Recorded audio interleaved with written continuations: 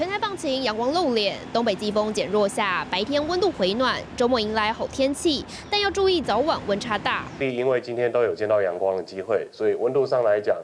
基本上台湾各地都有二十六到二十九度左右的一个温度，在夜晚到清晨，可能在北部是十六十七度。这两天天气以偏东风转为偏南风为主，白天为热，早晚偏凉，但得把握假期温暖舒适的好天气，因为下周二开始冷空气又会南下，北台湾水汽增多，迎风面有降雨几率。不过只短暂影响到周三，真正有感降温时间点将落在下周六。北部跟宜兰在礼拜二跟礼拜三这两天的温度相对来说是比较偏凉的。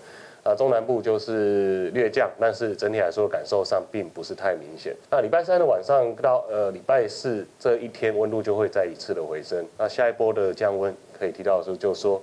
在下一个礼拜的周末，根据气象专家贾欣欣透露，北极震荡将逐渐由负转正，这也意味北方冷空气被锁在偏北方，因此冷空气不容易南下到中纬度。现在副北极震荡的指数在转正之后，冷空气就比较容易锁在高纬度这个位置。下一波比较明显的空气，可能要到七天到十天后才会有比较明显的空气。即便一连三天的好天气，但入夜后温差大，早晚还是得注意加件外套。金新闻的配蔡玉如采访报道。立刻下载“静新闻 ”App，一手掌握新闻时事，尽善尽美，尽好新闻。